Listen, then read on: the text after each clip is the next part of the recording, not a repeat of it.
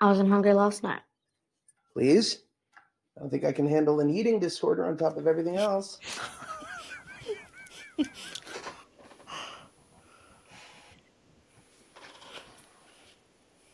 God, that is exactly how raising girls feels. another thing, another thing, another thing. And we're back. We are back. Uh, it's the Articulate Love In. We are your hosts. I'm Joel, I'm Kelly. and we are the Articulate Love In. Uh, this is a spinoff of the Articulate Coven, our show about Anne Rice and all of her imagined worlds. Uh, I am one half of that podcast. This is my lovely wife, Kelly, and she and I watch spooksy things and react to them for you. Yes. Uh, we started this whole adventure with Fright Night. If you haven't seen that video, it's on our YouTube channel, link below.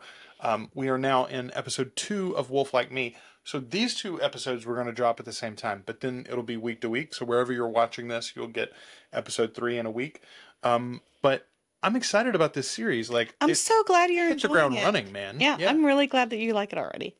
Um, you were just looking at some photos. Did you want to talk about that? Oh, yes. We're kid free tonight, so it's easier for us to record. Our kids are old enough now where they don't have to be supervised every five seconds. So we could. Saturday mornings are glorious around here now. Oh, yeah, they're wonderful. But, like, so even if they were home, we'd be fine. But anyway, they're at grandma's house uh, for the next night or two. But tonight, we're in Louisiana, in North Louisiana, but in Louis- Louisiana. Anyway, uh, you could see the Northern Lights. And if it is, what is today, October 10th? Uh, yeah, as we're recording, it's the 10th. Yeah. So, I mean, mo- most of the United States, I think, could see them tonight. So I hope you got to see them. But we couldn't see it at our house, but our kids could where they were. I'll just put the I'll put the Oh, yeah. on the Oh, yeah, on the screen. No, that's all right.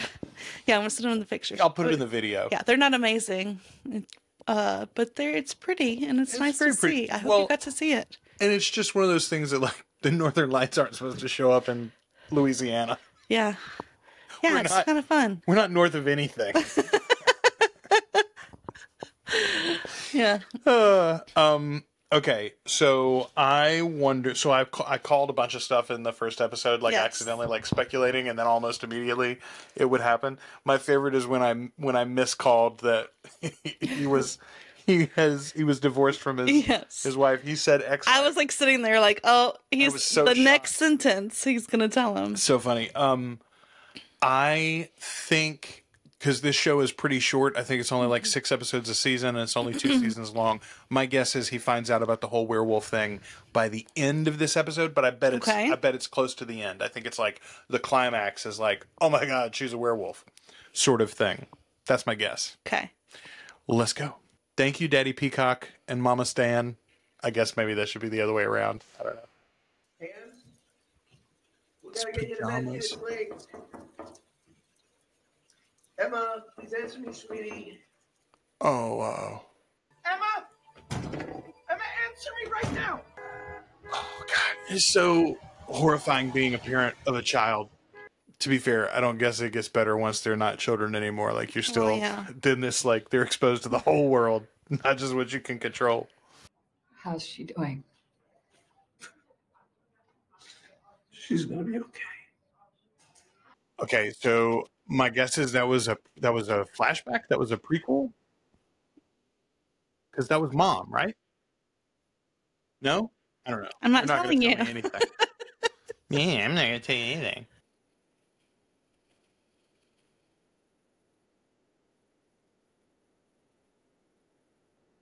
Okay, clearly not mom. My guess is aunt. I mean, even aunt would have come in and talked to her, though, probably, right? I mean, maybe give the dad a Dad a moment. Yeah, fair. Yeah. Okay, fair. Uh, she did have an Australian accent, though, right? That woman did. Uh, yeah. Yeah. Okay. You're more observant than I am, you know. So, was there a Groucho Marx quote that we missed in the beginning of this episode that we need to call out real quick while we're in No. commercial break? No. No. All right. Good. Rosie. Our dog is She's Very present. Actively. for this recording. Come here. She heard it's about a wolf. Come here. She's very interested. No, you're just gonna sit here and paw at me. She's just gonna paw at you, mother. What she wants is your constant attention. there she is. Come here, Rosies. People love dogs. Where are you? Rosie, you're not gonna Rosies. Get in the frame. Oh, you're laying down. She's relaxing. She's chilling. All right. Did you want to harm yourself? It's important that you answer that, Emma. Okay, so no, not a flashback. This is this. She's the same age as she's been in the first episode. So this is like in time. Yes. Oof. I was scared that it was going to happen again. Panic attacks?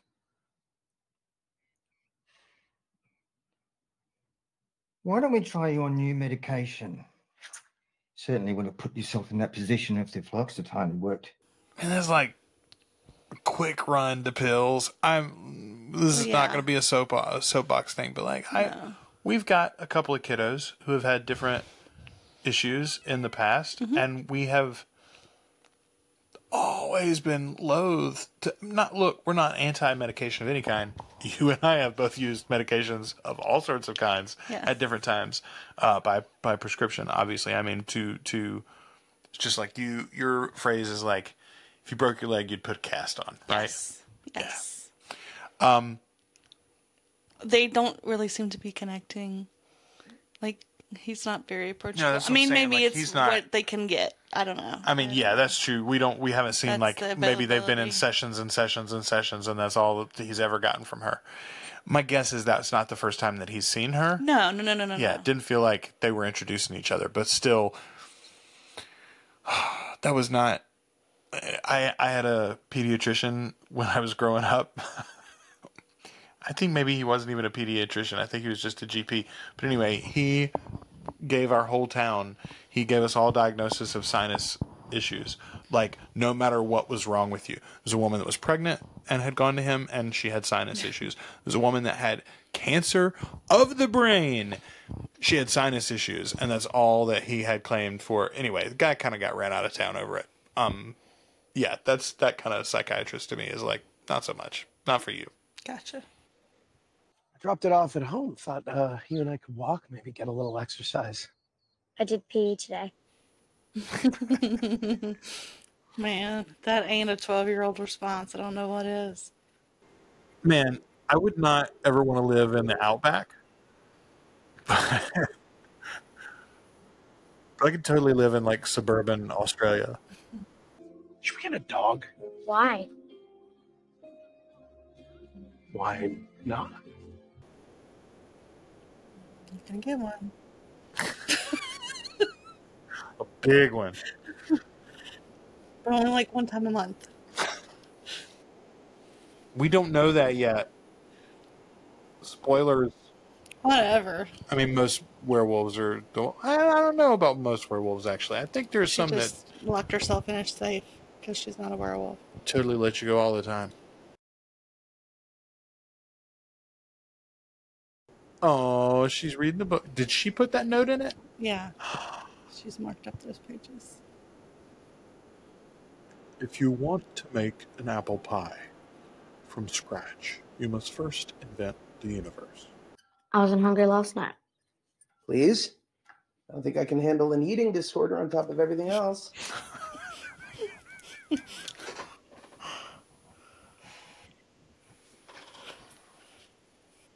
God, that is exactly how raising girls feels.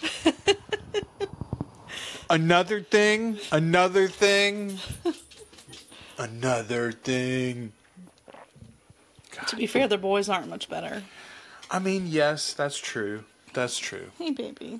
That's true. I just, my boys aren't 12 anymore. I got two girls that are heading in that direction. Ugh. What? You go on and on about me.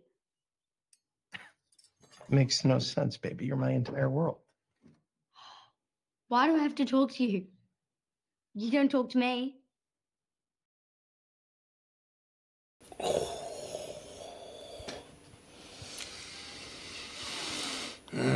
Truth hurts sometimes.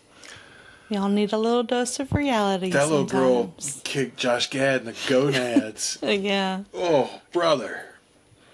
All right, let's see how he answers that one.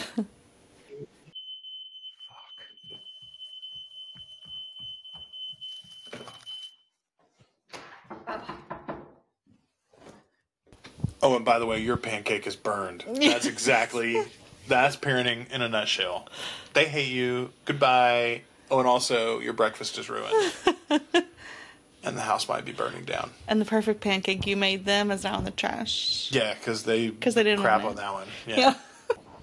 Pretty sure the woman I'm meeting is just using this opportunity to practice speaking English. What makes you think that? Her Bumble profile says she's studying English and needs to practice.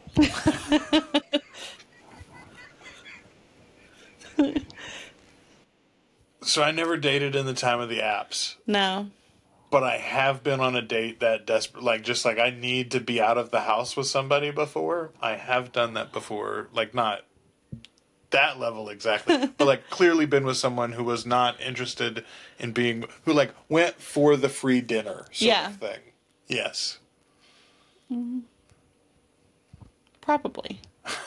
Not one that like jumps out, but probably, yes. Have Have you ever gone for the free dinner, Kel? yeah. Yes, I have. That was my point. It's like nobody assumed that you went on one. that was like there for the free dinner. What's the free dinner in your case? Man. I mean, I started to say, I can't believe he hadn't taken that to the shop yet. But then again, we've got a car, a brand new car sitting out in the driveway that's not been fixed since our accident. It's a very minor accident. I mean, case. it's a two dents that are like yeah, this there's two little big. dents in the back. Uh, Like hatch, but- that's different. Yeah, that's a whole thing. and I'm just saying, I can see how life gets away with you. I can appreciate, I can empathize. Yeah. Um, let's see. This is a shopping mall. Shopping mall. Very good. It's like so nice of him. I mean, Like it is, but like I know it's like I know he he needs connection and stuff. But, like I mean, she didn't lie. Like, let's be, let's put, be honest. She put it up there on Front Street, didn't she? Yeah. I wonder how many other Bumble matches she got. I don't know. At least she got Josh Gad. I was gonna get one. I'd want somebody like Josh Gad because he'd be nice. I want Olaf to come teach me English. Mm. We are on a date. He's so cute. This is Hmm. Dang. Good woman. I'm just taking these. It's redheads, man. I'm. Oh, you don't. then tell me I can't. why. Cause it's. Because I'm a werewolf. I mean, you already think I'm crazy. That's So- honestly, like, listen, you've hit this man. I mean, I guess you might be in ongoing legal proceedings with him and his insurance company. Sure. So maybe admitting that you are actually insane by saying you're a lycanthrope at this point, maybe that's too much for him. That's fair. Uh, Yeah. Isla, I, I feel you. All right. In a hospital bed. Oxygen mask on her face. Did I do it? Is it my fault? Oh, running away for six months. Boy, I had heard him. I mean, he asked at the beginning of this episode, "Is it what I did?" Um. Whoa, that's terrible. Yeah. That's really, really bad. Yeah. I mean, you can understand how somebody could get that way. Oh, for sure. Yeah, for sure. Sometimes it's easier to just. I was gonna say, I mean, you you didn't, you guys didn't have children, but when your first husband passed away, did you? I mean, did you have that feeling like, oh, I should just disappear? Uh, yeah, I kind of did. In some physical ways, but also just some emotionally and mental ways. Yeah. Yeah. I don't. I mean, I did have kids when my wife and I split up. My first wife, and I don't. I couldn't have ever imagined leaving them. But on the flip side, though, like, I did think to myself, boy, this would all be way easier if I just moved to the other side of the Wash globe. your never hands had to of it, Yes, yeah. never had to see you again. Yeah. yeah. That's heavy, Holmes. Now, okay, listen. Inviting her into your bathroom, you know, after you've known her for 30 seconds is one thing, but like you just really trauma dumped on that woman. Uh, but it's trauma dump. Like, I think that's okay. Well, she had clearly made, she had exposed to him she's got something so terrible she can't talk about Yeah. it. And yet, um, you know what this makes me think of though, Kelly? It's funny. the first time that she talked about, I shouldn't have put myself in this position or whatever. It reminds me of trying to date people with my eating habits. I'm an incredibly picky eater, like an insanely picky eater. Like, like there's a list of like 12 things total that I really like and like 24 total in the world that I will eat at all. that's true. And now as a 43 year old man who is married with like grown children basically almost, I am very cool with talking to people about it because I don't really care what you think. but when I was in my 20s and dating. I mean, my first serious girlfriend in college, she and I were dating for like three weeks before we had the conversation. And everybody always goes, How did you have a date? But I mean, you got to remember, like, we would just go to the movies or stuff, right? Like, Yeah. we wouldn't go, or we'd go to fast food, and I would off, I would, I would be like, Oh, I, I ate earlier. Yeah. that one that one works that one would work for years honestly unless you're living with someone Yeah. really um anyway i i, I feel for her because it is like it's too early for me to tell you about this but if we wait then it's like a secret that i kept from you you know Mm-hmm. But I was just gonna say, like, I know people like people like, oh, you know, oh, I trauma dump, and it's like a almost. It can be people make it feel like almost shameful. yeah no I am an oversharer. I am a trauma dumper. But mainly, it's not. It's not to. uh, Like, he just dumped all that shit on her. Like, he wasn't.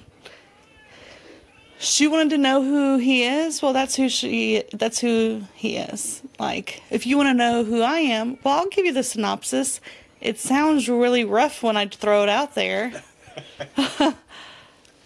But like we can we can get deeper into that. But if you want to know who I am, that's who I am. if you want to know who i am that's who i am mm-hmm. that's what he did that's what he did all right that's fair that's yeah, fair I don't I don't like sure. I mean, I'm I know there are some people that like really trauma dump, but I mean, that's a lot of trauma he needed to dump so it's okay yeah, Yeah. just let him be lighter. yeah You don't have to take it on. No. That's my baggage. it was a uh, accident when we were backpacking in Europe. It was going to be our last vacation before we started trying to have a baby. Sorry. I find it very easy to be in your company. You know that? You made me sick. I couldn't hold you back. I'm just not used to being around people you talk to. Yeah, it's been a. I just, I don't want to hurt you or Emma.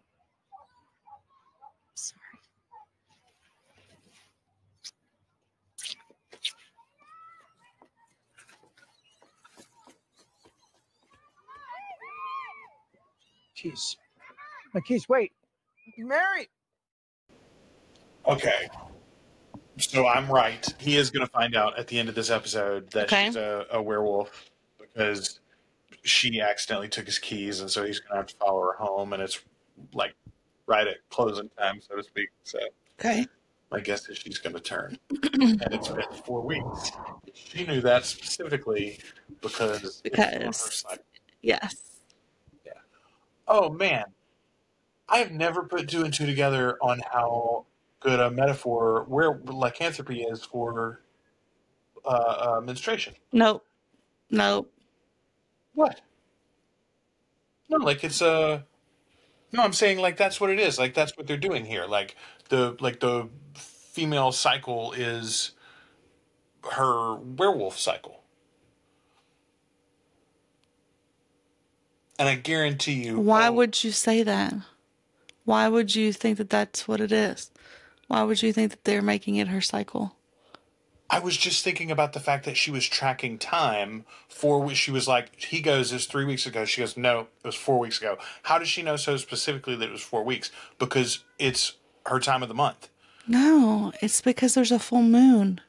Which is her werewolf time of the month. And that's what I'm saying. The fact that she cycles with the moon is like the, the very nature of lycanthropy. The fact that it's like a cycle for the werewolf, I think is a, an interesting connection to like femininity and the whole like Okay. Yeah, like, and particularly when you think about the way that men in general treat it, and like the way the patriarchy treats it, like biblically, like you're unclean, you got to go hide in the tent, et cetera, et cetera, whatever. Also, it's like the feminine power of it is like scary. Anyway, if I'm right on the daughter also being a werewolf, that will absolutely be a through line of this show. Is that like werewolfism is is femininity or whatever as a as a metaphor. I am woman, hear me roar, so to speak. I am werewolf, I hear me howl. I don't know that I agree with you. Let's see. I mean, you've seen it, so you know. What is is that? It's not crawfish. It's raw meat. Oh, raw meat. Old alarm sound. Hello? Hey, uh. Sarah, are, are you good with Emma still? Of course we are. Do you need more time? I'll, uh, I'll, I'll let you guys know when I'm on my way back. What done? Just have fun. Bye. I do love when people are talking past each Mate, you other shouldn't like be that. following women like this. It's 2021. Just Like they're like, "Oh yeah, that's awesome. Your date's going well," and he's like, "What? What are you talking about?" Yeah. Having two entirely different conversations. Yeah. I love this Australian cabbie who's like, "You can't stalk her, mate." It's 2021. go to the light. I'll pay you a little extra. No, no. What are you doing? Follow her. It's a red light. I love her front yard. Did you follow me here? Why do you have chickens?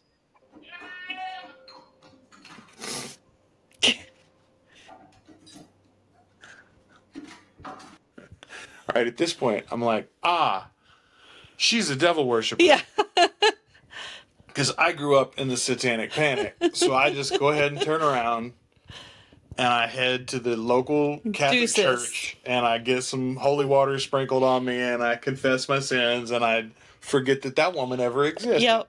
In fact, until she forcefully bumps into me again in public, apparently, which is her MO in this thing.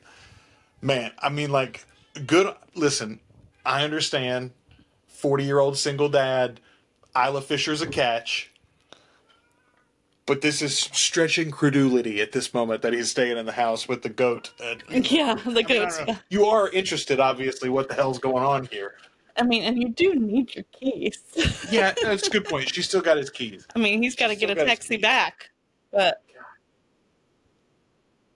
I know what taxis cost. It's like this dude's an arm and a leg out on this dinner. Go. You're just gonna have to deal with this now. Oh, you're fucking happy, you fucking shit.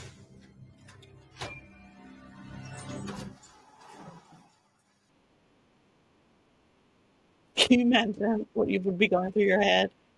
Like what? I mean, yeah, I'm like, oh, I would literally be, I would probably be praying, honestly. Like, I mean, he's dying. I'm dying Yeah. at this point.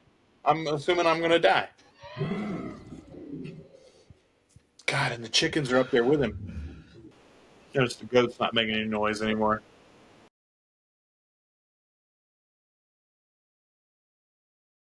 Claw marks on the door.